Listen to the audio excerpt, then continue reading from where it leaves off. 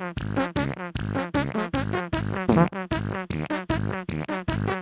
O lanche do rico. O lanche do rico é todo coisadinho, um suquinho, Zé. Coloquei um suquinho pra você, tá? Em caixinha. Porra, suco em caixa. Merda de suco. Basta carne hoje que já é caixa. Vem suco agora em caixa. É cresce tudo nutrido, menino. Não come substância, não cresce. Lanche do pobre. Lanche do pobre é cimento. Menino já cresce pedreiro já. Que a escola pública ela dá os lanches, ela dá pô, uns creme cracker com doce, uns leite com Nescau. Não era Nescau, tinha nem leite, era só Nescau com água. E aí, ah, leite com Nescau, toma. Um cuscuzinho com ovo bem preparado, né? Com mãos higienizadas. Pra você pensar, isso, mas como esses alimentos podem nutrir tanto uma criança se são alimentos de tão pouca taxa de, de carboidratos e proteínas? Por causa da quantidade, meu amigo. Porque era creme crack com doce, mas nós comia 45. Era leite com Nescau, mas nós bebia 10 copos. Cuscuz com ovo, nós comia no mínimo por baixo uns 5 pratos. Por quê? Por causa das técnicas para pegar mais comida. Primeiro você entrava na fila normal, ia caminhando. Hum, oh, meu, meu lanche, por favor. Depois você entrava na fila de novo, só que no tumulto você botava só uma mão assim, ó, pra pegar, entendeu? A mãozinha, ó, pra terminar de lanchar, ele tava pelo outro lado da fila, aqui no tumulto, ó, botava outra mão esquerda assim, essa mãozinha aqui, a mãozinha,